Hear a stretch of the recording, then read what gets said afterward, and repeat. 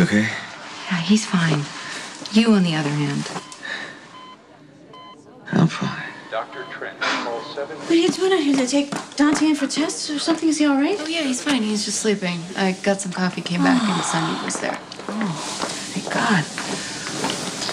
Are you sick of dealing with Sonny, too? I Oh, no, I'll deal with Sonny any day of the week. You want me to go in there and boot him out? I'll tell you No. for sure he'd rather wake up and see your face than Sonny's.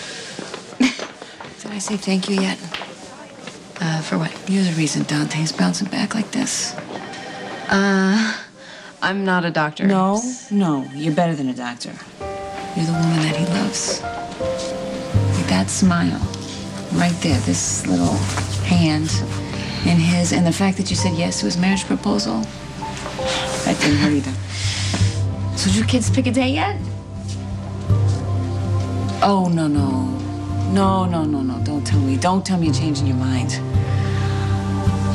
Just, you know, force of habit. Hmm. I remember it well. Yeah. All those nights I'd wake up wondering where you were, only to find you across the room in that chair, sound asleep. Gun always within reach. I was just trying to keep you safe. It wasn't just me you were protecting. Demons usually come out at night, especially the ones you keep locked up.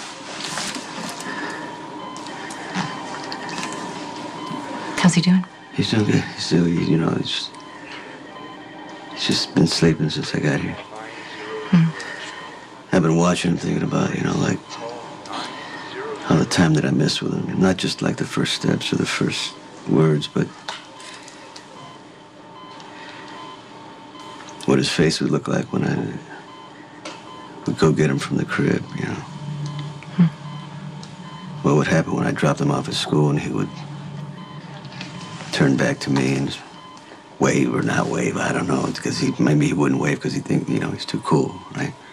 Like father, like son. Things could have been different, you know. If you'd have known. Come on, Sonny. For him, maybe not for you. You were always on a path. God help whoever got in your way. Having a kid changes everything. Even the best laid plans and the worst place to anger. Therapy.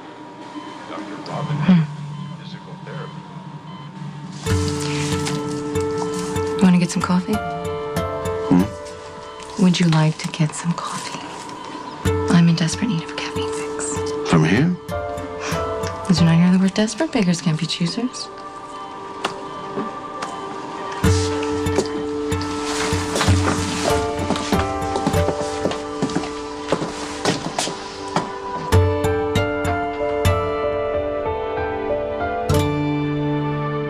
How well has that worked out for you? Lulu, have you spoken to Maxie? No, why? Well, if you do, will you just tell her that I'm looking for her again?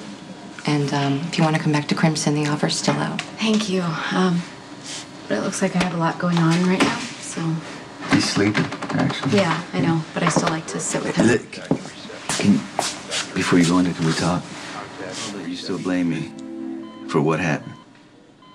Dante knew where he stood and what lines he wouldn't cross.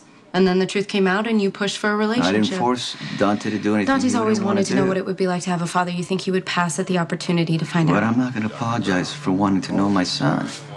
You put him at odds with himself and everything that he believed in, and worse, you played on his emotions to protect yourself and your dirty empire, and you never once thought about how your son would suffer for it. Lulu, you are afraid and scared for Dante. You have every right to be, but let's not forget that he was on the job when he was No, shot. he was off duty. He knew that. He was off duty. He was at your warehouse trying to head off an attack and keep the peace. Why? Because no matter how many times you let him down, he will always try to protect you. And instead of you being grateful, you actually exploit that every single chance you get. You don't deserve him. What'd you tell him? I mean, forget everything. Forget all this. I, I know that he proposed to you. Did, did you say yes? Dr. O'Leary to OR. Dr. Kyle O'Leary to OR. Maybe I just, you know what? Maybe I don't deserve Dante in my life. I don't deserve you in my life. I don't deserve anybody. Well, Sonny, that never stops you from trying to make it happen. Well, I, it's important to me. When things are important to me, I want what I want. You know that. Yes, I do. Why? Why? Why do you do that? Is it is it nostalgia? The thrill of the chase? I want you to be brutally honest with me. Since when? Because you're one of the only ones right now who can call me out on my stuff, and it does not feel like my stepfather backhanded me. Feel good to get that off your chest.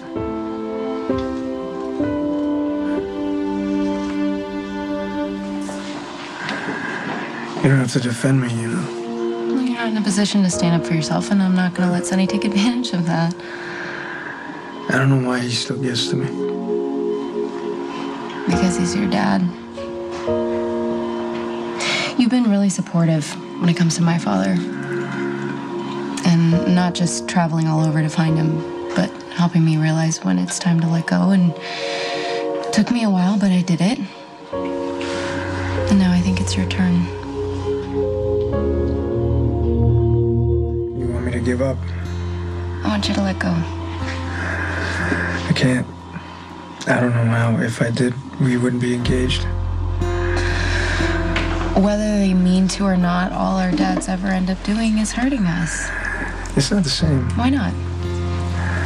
You grew up most of your life with Luke in it, and, and I spent my life wishing for a dad. And I hate what Sonny does, but that need, that doesn't go away. Okay. Well, you know what I wish for? I wish that I would have the same relationship that my brother had with my dad. And I knew my dad loved me, but what they had was untouchable. And I wanted that more than anything. I still do. So, what does that say about me? It says you love your dad.